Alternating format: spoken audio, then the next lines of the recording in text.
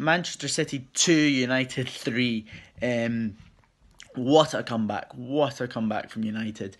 Absolutely incredible. It's games like that are the games United fans have been wanting for since Fergie left. It's the sort of fight, the passion United have been wanting from their players. Pogba stepping up, Sanchez stepping up. You know, it's as if United made two signings at halftime. Well, 11 signings probably. Um, first half, United, there was a lack of fight, lack of effort. They just, as soon as City scored one, they seemed resigned to, to defeat. They, they, they just looked like, oh, right, let's let's all feel sorry for us. But whatever Mourinho said to them at halftime, and Mourinho's not going to get credit for whatever he said to them at halftime. You know, it takes a special manager to be able to turn players around the way he did. I don't know what he said, but Oh, absolutely fantastic from United. Um, I missed the last 15 minutes. I was backstage at a Reckless Intent live event, um, so I didn't get to see the last 15 minutes. Probably for the best for my heart, um, having seen De Gea save and City obviously hitting the post. Um, but United, that that was a game of the Manchester United way. That was everything Manchester United should be about. That was. Uh, exciting, dramatic, um, drama, everything. Fantastic from United, and hopefully United can use this as a platform for next season. Um, even though he scored the winner, and he, showed great passion with his celebration, you could see it meant a lot to him.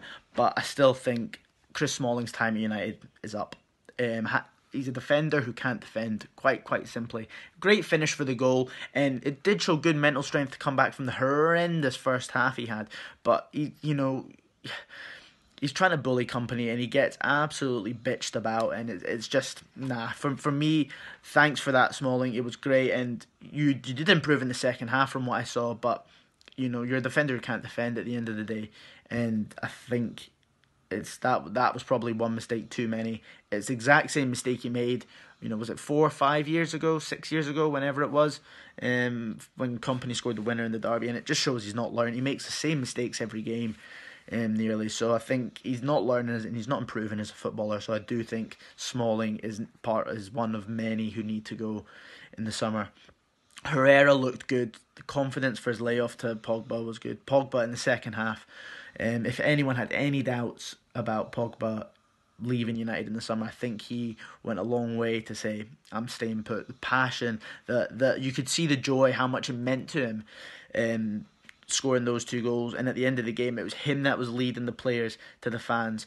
Um, when City hit the post from the corner, it was him that was screaming, trying to organise the defence. He showed he was a leader. He showed he could be the the player we thought he was going to be when he signed. This could be a massive turning point in his career. And Sanchez is he's looking better.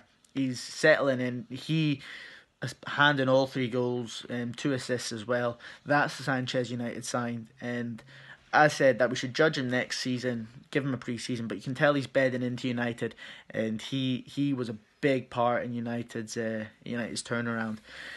So, you know, the United United players they, they, they played with pride. They played in the second half. They played with pride. They played they played like it meant something to them. And City fans are going to say, "Oh, United celebrating like they won the league." No, they celebrated like they won the derby. Winning a derby is incredible. Is an incredible feeling in football. Um, having played for my local team and won a derby, I know I, I know how it feels. Obviously at youth level, but it's it's still a good feeling.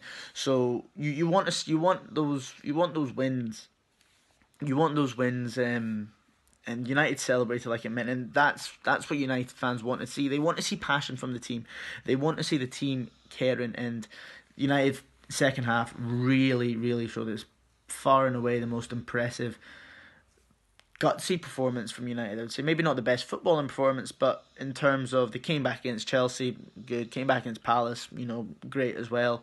But to do it against the best team in the country um, away from home when everyone's writing you off, watching, you know, what watching match of the day as well, and the commentary in the, the live game, you know, 2 0 down, everyone was writing United off, and it could have been 4 or 5. City probably should have had a penalty when um, when uh, when Young uh, took out Aguero, but I don't care. It makes up for uh, Bravo's one on Rooney last year, so uh, hopefully this can kickstart United. Well, not kickstart, but you know, give United a big kick up the arse, push towards the end of the season, finish second, win the FA Cup, and that would still be a very good season for United. And uh, one last thing, so um, if United go from sixth and finish second, hypothetically, obviously, sixth to second, and Liverpool finish fourth last season, still finish fourth this season, which looks like they might do. Um, who's made a bigger improvement in his team, Mourinho or Klopp? Up the fucking red shirts.